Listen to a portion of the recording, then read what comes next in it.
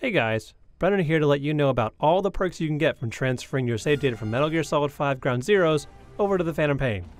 It's important to note that you need to upload the data from the main menu in Ground Zeroes and then download it in the Phantom Pain once you complete the Diamond Dogs mission at Mother Base.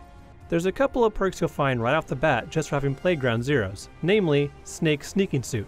It dampens your footsteps, hides your body temperature, and is a lot cheaper and easier to develop than other sneaking suits in the game. If you complete the Deja Vu mission, you'll also get the ability to swap out your suit for Metal Gear Solid 1's low polygon costume, and yeah, this suit will even show up in the cutscenes. After nine years on ice, solo infiltration of the Soviet main ground forces. Should be the perfect warm-up.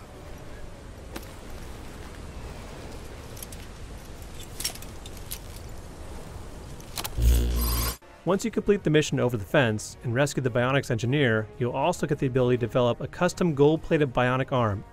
It performs much like the regular arm, but looks a lot classier.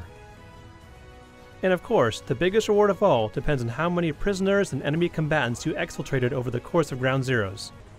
For every special person you put on the chopper across all missions, those same units will begin joining your Diamond Dogs on Mother Base.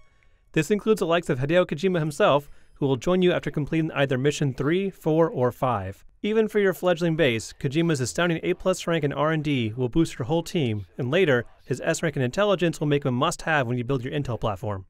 As you complete more missions, you'll find even more of the men you extracted joining your team, including the eye and the finger after completing mission 6, and more prisoners you extracted after doing two of the missions from the group 7, 8, 9, and mission 10. And the last batch of recruits will appear after you complete mission 12. Note that if you're already far into the game when downloading your save data, just complete or replay any old story mission and the troops will start coming home. And there you have it, a whole bunch of bonus perks 9 years in the making. For everything else from the Phantom Pain and more, keep your codec tuned in to IGN.